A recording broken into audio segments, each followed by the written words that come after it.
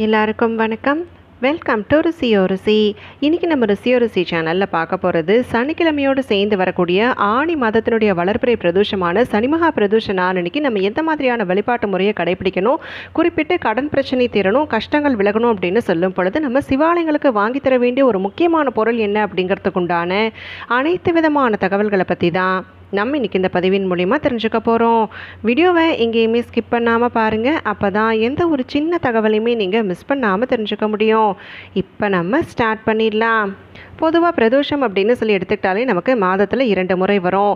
தேய்பிறை பிரதோஷம் அப்படின்னு சொல்லுவோம் வளர்ப்பிறை பிரதோஷம் அப்படின்னு சொல்லுவோம். இப்படி இந்த பிரதோஷ நாட்களானது ஒவ்வொரு கிழமையோடும் சேர்ந்து வரும் பொழுது தனித்துவமான சிறப்புகள் இருக்குது திங்கக்கிழமை நாளோடு சேர்ந்து வருது அப்படின்னு சொன்னால் அது சிவபெருமானுக்கு உகந்த நாள் அப்படிங்கிற காரணத்தாலையும் இந்த குறிப்பிட்ட திங்கக்கிழமையோடு வரக்கூடிய பிரதோஷத்தை சோமவார பிரதோஷம் அப்படின்னு சொல்லி அழைப்பாங்க. அதே மாதிரி தான் செவ்வாய்க்கிழமையோடு பிரதோஷம் இணையுது அப்படின்னு சொல்லும் பொழுது அதை மங்களவார பிரதோஷம் அப்படின்னு சொல்லி அழைப்பாங்க. அதே போல தான் சனிக்கிழமை நாட்களில் நமக்கு பிரதோஷம் இணையுது அப்படின்னு சொல்லும் பொழுது அதை சனி மகா பிரதோஷம் அப்படின்னு சொல்லுவாங்க. பாவங்களை எல்லாம் போக்கி சனி பிரதோஷ நாளனைக்கு சிவாலயங்களுக்கு சென்று சிவபெருமானை தரிசனம் மேற்கொண்டாலே போதும். கண்டிப்பாக நம்மளுடைய வாழ்க்கையில் இருக்கக்கூடிய எல்லா விதமான கஷ்டங்களும் நம்ம அறிந்தும் அறியாமலும் செய்த பாவங்களும் விலகுவதற்குண்டான வாய்ப்பு ஏற்படும். அதோடு மட்டும் இல்லாமல் நந்தி தேவருக்கு நடக்கக்கூடிய அபிஷேகத்தை நம்ம கண் குளிர காண்பது அப்படிங்கிறது ரொம்ப ரொம்ப சிறப்பு. நமக்கு எத்தனையோ பிரதோஷங்கள் வந்து போனாலுமே இந்த சனி மகா பிரதோஷம் அப்படிங்கிறது அதிசக்தி வாய்ந்த நாள் அப்படின்னே சொல்லலாம். ஒருவருடைய வாழ்க்கையில் பாவங்கள் அனைத்துமே விலகணும் புண்ணியம் சேரணும் அப்படின்னு சொல்லும் பொழுது இந்த சனி மகா பிரதோஷ நாளன்னைக்கு வரக்கூடிய பிரதோஷ காலத்தின் பொழுது சிவபெருமானுக்கு வில்வ இலைகளை கொண்டு அர்ச்சிப்பது இல்லை வில்வ இலை மாலை வாங்கி தருவது அப்படிங்கிறத செய்துக்கோங்க. பொதுவாக பிரதோஷம் அப்படின்னு சொல்லி பார்த்தாலே இருபதுக்கும் மேற்பட்ட வகைகள் இருப்பதாக சொல்லப்படுது. நித்திய பிரதோஷம் பட்ச பிரதோஷம் பிரளய பிரதோஷம் திவ்ய பிரதோஷம் இப்படி நிறைய விதமான பிரதோஷ வகைகள் உண்டு. அப்படி அந்த பிரதோஷத்தில் இந்த சனிமகா பிரதோஷம் அப்படிங்கிற இந்த நாள் பார்த்தீங்க அப்படின்னா ஆழகால விஷத்தை உண்டு. மயக்கத்தில் இருக்கக்கூடிய ஈசன் தன்னுடைய மயக்கம் தெளிந்து அகிலத்தை காத்ததாக புராணங்களில் சொல்லப்பட்டிருக்கு. இப்படி இந்த சனி பிரதோஷ நாளனைக்கு மாலை நேரத்தில் சிவபெருமான் நந்தி பகவானை தரிசிக்கும் பொழுது அதாவது நம்ம உணவு எதுவுமே சாப்பிடாம நாள் முழுவதுமே விரதம் இருந்து சிவபெருமான் மற்றும் நந்தி பகவானை தரிசனம் மேற்கொள்ளும் பொழுது சகலவிதமான சௌபாகியங்களும் கிடைப்பதோடு மட்டுமில்லாமல் இந்திரனுக்கு சமமான புகழும் செல்வாக்கும் கிடைப்பதற்குண்டான அருள் பிறப்பதாக நம்பப்படுது. எப்படி நம்ம சிவபெருமானுக்கு வில்வ மாலை சார்த்தி வழிபாடு மேற்கொள்கிறோமோ அதே மாதிரி தான் நந்தி பெருமானுக்கு அருகம்புல் மாலை சாற்றுவது அப்படிங்கிறது ரொம்ப ரொம்ப சிறப்பு.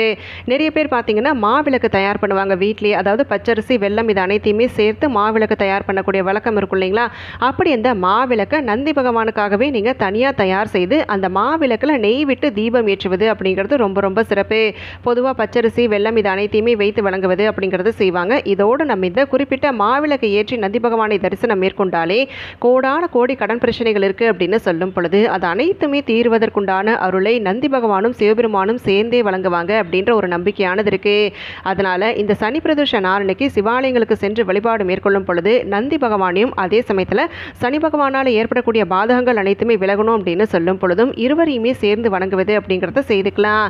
அதே மாதிரி விரதம் இருந்து வழிபாடு செய்யக்கூடியவங்க காலையில் விரதத்தை தொடங்கி மாலை அந்த பிரதோஷ காலம் வரைக்குமே நம்ம சிவாலயங்களுக்கு சென்று வழிபாடு செய்து விரதத்தை கடைபிடிக்கக்கூடியவர்கள் விரதம் முடிந்ததுக்கு அப்புறம் பார்த்தீங்க அப்படின்னா உப்பு காரம் புளிப்பு இதெல்லாம் சேர்க்காம உணவை எடுத்துக்கொள்வது அப்படிங்கிறது செய்துக்கோங்க. நிறைய கோவில்களில் பார்த்தீங்க அப்படின்னாக்கா சோமசுக்த பிரதட்சிணம் அப்படின்னு சொல்லிட்டு சிவபெருமானை வணங்கி வழிபாடு செய்வதற்குண்டான ஒரு குறிப்பிட்ட வழிமுறையை வந்து கோவில்கள்லேயே பார்த்தீங்கன்னா வரைஞ்சி வச்சிருப்பாங்க. அந்த மாதிரி வரைஞ்சிருக்கிறாங்க அப்படின்னு சொல்லும் பொழுது அதை பார்த்து அதே முறையில் நம்ம சோமசுக்த பிரதட்சிணத்தின் மூலயமா சிவபெருமானை தரிசனம் மேற்கொண்டோம் அப்படின்னு சொன்னால் அதுவும் இந்த சனி பிரதோஷ நேரத்தில் வரக்கூடிய பிரதோஷ காலத்தின் பொழுது சிவபெருமானை இந்த குறிப்பிட்ட முறையில் நம்ம தரிசனம் மேற்கொண்டோம் அப்படின்னு சொன்னால் நூற்றி இருபது வருடங்கள் பிரதோஷ காலத்தின் பொழுது வழிபாடு செய்ததற்குண்டான பலன் கிடைப்பதா நம்பப்படுது. அது மட்டும் இல்லாமல் பிரதோஷ காலத்தில் பார்வதியுடன் இருக்கக்கூடிய சிவபெருமான ரிஷப வாகனத்தில் ஆலயத்தின் மூலயமா மூன்று முறை வலம் வருவதை நம்ம கண்டிப்பாக நிறைய நேரத்தில் பார்த்துருப்போம். முதல் சுற்று செய்யப்படும் பொழுது வேத பாராயணத்தையும் இரண்டாவது சுற்று செய்யும் பொழுது திருமுறை பாராயணத்தையும் மூன்றாவது சுற்றின் பொழுது நாதஸ்வரி இன்னிசையும் உடன் வலம் வந்தபடி கேட்பது அப்படிங்கிறத செய்திருப்போம். இது எல்லா கோவில்களையுமே நடக்காது. ஒரு சில குறிப்பிட்ட சிவாலயங்களில் நடக்கும். அப்படி அந்த மாதிரி நடக்குது அப்படின்னு சொல்லும் பொழுது நமக்ஷிவாய அப்படிங்கிற அந்த ஐந்தெழுத்து மந்திரத்தை ஓதியபடி பிரதோஷ காலத்தில் சிவபெருமானை பிரியணிந்த பெருமானா தேவியோடும் முருகனோடும் சோமஸ்கந்த மூர்த்தியாக தரிசித்து கண்ணீர் மல்க நம்மளுடைய வழிபாட்டை மேற்கொண்டோம் அப்படின்னு சொன்னாலே கண்டிப்பாக சகலவிதமான நன்மைகளும் நம்மளை வந்து சேர்வதில் துளியும் சந்தேகமே இல்லை.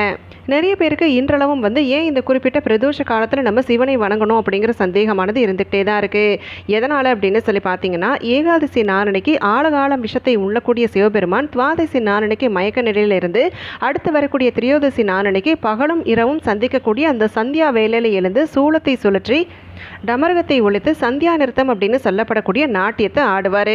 பிரளய தாண்டவம் அப்படின்னு சொல்லப்படக்கூடிய இந்த நாட்டியமானது ஆக்கல் அழித்தல் காத்தல் மறைத்தல் அருளல் அப்படிங்கிற அந்த ஐந்து வகை தொழில்களையும் ஊக்கப்படுத்தக்கூடிய விதத்தில் ஈசனால் ஆடப்பட்ட ஆட்டம் அப்படின்னு சொல்லுவாங்க.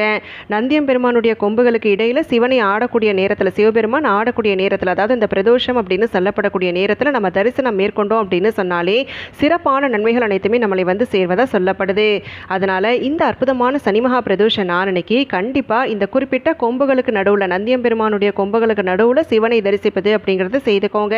இப்போ கோவில் சென்று வழிபாடு செய்ய முடியல அப்படின்னு சொல்லும் பொழுது நீங்கள் வீட்டில் வழிபடக்கூடிய சமயத்தில் நீங்கள் சிவலிங்கம் வைத்திருக்கிறீங்க அப்படின்னு சொன்னாக்க சிவலிங்கத்திற்கு அபிஷேகம் அனைத்தையுமே மேற்கொண்டு வில்வ இலைகளை சாற்றுவது அப்படிங்கிறத செய்துக்கலாம். அது மட்டும் இல்லாமல் இந்த சனி பிரதோஷ நேரத்தில் தான் இந்த குறிப்பிட்ட தேவர்கள் அனைவருமே தேவர்கள் முனிவர்கள் அனைத்து கடவுள்களுமே ஈசனுடைய நாட்டியத்தை பார்க்கணும் அப்படிங்கிறதுக்காகவே ஆலயத்திற்கு வருவதா ஒரு நம்பிக்கையானது இருக்கு. அதனாலேயே தான் இந்த சனி மகா பிரதோஷ நாளன்னைக்கு நம்ம சிவபெருமானை தரிசனம் மேற்கொண்டோம் அப்படின்னு சொன்னாலே அனைத்து தெய்வங்களும் குடிகொண்டிருக்கக்கூடிய காரணத்தால் எந்த ஒரு கோரிக்கை நிறைவேறணும் அப்படின்னு சொல்லி சிவபெருமானை வணங்கி வழிபாடு மேற்கொள்கிறோமோ அந்த கோரிக்கை நிறைவேறக்கூடிய விதத்தில் அனைத்து தெய்வங்களுமே நமக்கு அருள் புரிவதா ஒரு ஐதீகமானது இருக்கு. அது மட்டும் இல்லாமல் எத்தனையோ பிரதோஷங்கள் வந்து சென்றாலுமே இந்த சனி மகா பிரதோஷ நாளனைக்கு நம்ம செய்யக்கூடிய தானமானது கண்டிப்பாக நம்மளுடைய வாழ்க்கையின் முன்னேற்றத்தை உயர்த்தி காட்டும் அப்படின்ற ஒரு ஐதீகமானது இருக்கு. எத்தனை கடன் பிரச்சனைகள் இருந்தாலும் சரி இந்த கடன் தீரணும் அப்படின்னு சொல்லும் பொழுதும் இல்லை நீங்கள் மேற்கொள்ளக்கூடிய தொழிலில் ஒரு முன்னேற்றம் வேணும் அப்படின்னு சொல்லும் பொழுதும் இல்லை ஏதாவது ஒரு ஆசைகள் நிறைவேறணும் அப்படின்னு சொல்லும் பொழுதும் கண்டிப்பாக இந்த நன்னாளனைக்கு நீங்கள் தானங்கள் அதுவும் குறிப்பாக சிவாலயங்களுக்கு வாங்கி தருவது அப்படிங்கிறத செய்துக்கலாம். இதை தவிர்த்து நீங்கள் வரக்கூடிய பக்தர்களுக்கு அன்னதானம் மேற்கொள்வது அப்படிங்கிறத செய்துக்கலாம். கடன் தீரணும் அப்படின்னு சொல்லக்கூடியவங்க கண்டிப்பாக சிவாலயங்களுக்கு சந்தனம் வாங்கி தருவது அப்படிங்கிறத செய்துக்கோங்க. சந்தனம் மற்றும் பன்னீர் இரண்டையுமே வாங்கி தரலாம். இதை தவிர்த்து நீங்கள் கோவிலுக்கு வருகை தரக்கூடிய பக்தர்களுக்கு தயிர் சாதத்தை தானமாக வழங்குவது அப்படிங்கிறத செய்துக்கோங்க. அடுத்ததாக என்னுடைய கஷ்டங்கள் அனைத்துமே தீரணும் துன்பங்கள்லேருந்து விடுபடணும் அப்படின்னு சொல்லக்கூடியவங்க கண்டிப்பாக இந்த சனிமகா பிரதோஷ நாளன்னைக்கு சிவாலயங்களுக்கு சுத்தப்படுத்துவதற்கு தேவைப்படக்கூடிய பொருட்களை வாங்கி தருவது அப்படிங்கிறது செய்துக்கலாம். அது மட்டும் இல்லாமல் கோவிலில் ஏதாவது ஒரு சில திருப்பணிகள் நடக்குது அப்படின்னு சொல்லும் பொழுது அதில் பங்கெடுத்துக் கொள்வது அப்படிங்கிறதையும் செய்துக்கலாம். இதெல்லாம் செய்யும் பொழுது நம்ம மனதில் பார்த்தீங்க அப்படின்னு சொன்னால் ஒரு விதமான சந்தோஷம் தொற்றிக்கொள்ளும். அப்படி அந்த சந்தோஷத்தை நம்ம இறுக்கமாக பிடிச்சு இதுக்கப்புறம் நம்மளுடைய வாழ்க்கையில் வரக்கூடிய கஷ்டங்கள் விலக போகுது அப்படிங்கிற நம்பிக்கையோடு ஒவ்வொரு நாளையுமே நம்ம நகர்த்தணும் அப்படின்னு சொன்னாலே கண்டிப்பாக நம்மளுடைய வாழ்க்கை நிலையானது மாறும். அதனால் இப்போ நான் சொன்ன குறிப்புகள் அனைத்தையுமே ஞாபகம் வச்சுக்கோங்க. இந்த சனிமகா பிரதோஷம் அப்படிங்கிறது நமக்கு வருடத்தில் ஒரு முறை இல்லைனா இரண்டு முறை மட்டும்தான் வரும். நூற்றி இருபது வருட பிரதோஷ பலன்கள் அனைத்தையுமே பெற்றுத்தரக்கூடிய இந்த நன்னாளை நீங்கள் தவற விடாமல் நான் சொன்ன விஷயங்கள் அனைத்தையுமே சரியாக கடைபிடித்து அனைத்து விதமான நற்பலன்களையும் பெற்று நல்ல ஒரு சிறப்பான சந்தோஷமான செல்வவளமான வாழ்க்கையை வாழணும் அப்படின்னு சொல்லி நானும் உங்களுக்காக மனதார வேண்டிக்கிறேன். இந்த பதிவை நான் இதோடு இங்கே நிறைவு செய்கிறேங்க நாளைக்கு மறுபடியும் ஒரு பயனுள்ள பதிவோடு உங்களை நான் சந்திக்கிறேன். அது வரைக்கும் நன்றி. வணக்கம்.